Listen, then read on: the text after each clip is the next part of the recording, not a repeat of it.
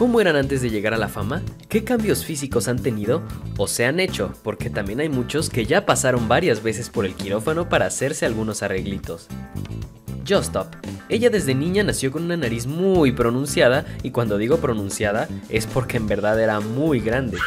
Después de cumplir los 18 años, decidió quitar ese enorme hueso de su rostro. Kaeli, una de las más exitosas actualmente, pasó de ser una adolescente introvertida y callada a la mujer que es ahora, pero la fama no solo cambió su personalidad, sino que también cambió su rostro. Bueno, la fama no, los doctores. Se realizó una bichectomía, que es la operación para quitar los cachetes. Después de eso, al parecer no quedó conforme, pues también se operó la nariz, que aunque ella no lo necesitaba como Justop, también le favoreció.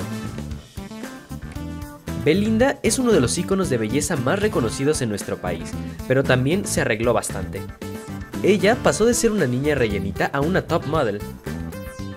En el rostro se hizo una bichectomía, se operó la nariz y además se realizó una liposucción de rostro. En el cuerpo, una lipoescultura.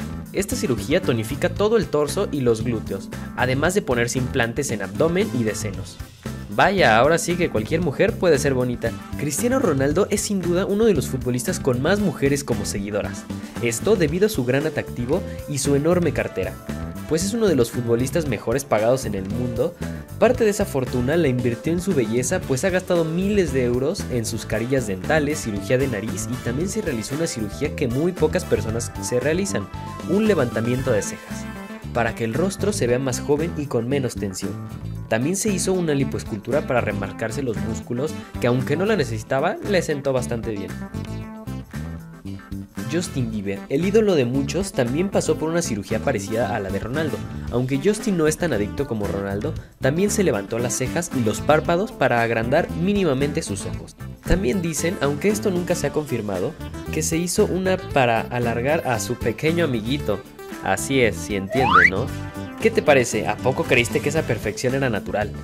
Creo que ahora los veré de manera distinta. Comenta qué te parecen sus cambios.